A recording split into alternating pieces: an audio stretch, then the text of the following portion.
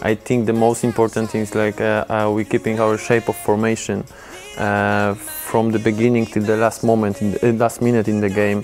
We're keeping compact uh, during game.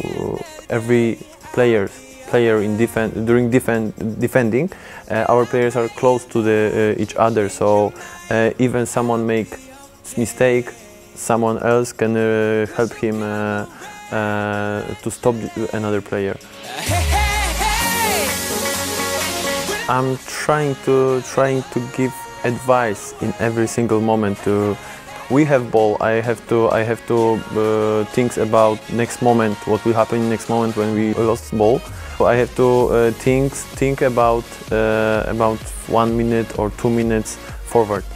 My job is much easier. I think my job is much easier uh, now than last year because uh, our team is much better than last year. So uh, I have to for me, games are more difficult because uh, I have less number of shoots during games, so uh, it's a little bit di more difficult to keep concentration. But uh, uh it, it's good that, that I have this kind of problem, not the opposite.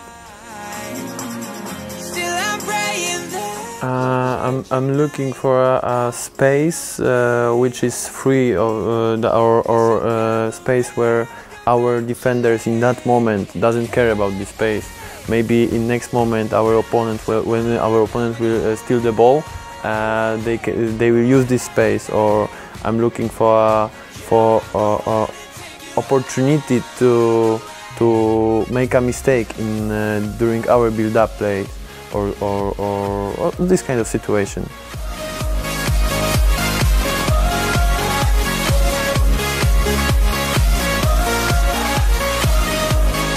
Uh, I would like to keep this number very very low till the end of the season. Uh, I want to win a game. Not, not I don't want to draw games 0-0, for example. I want always win uh, like even 3-2, even 4-3. Uh, if we win, it's no problem if we concede uh, three or two goals.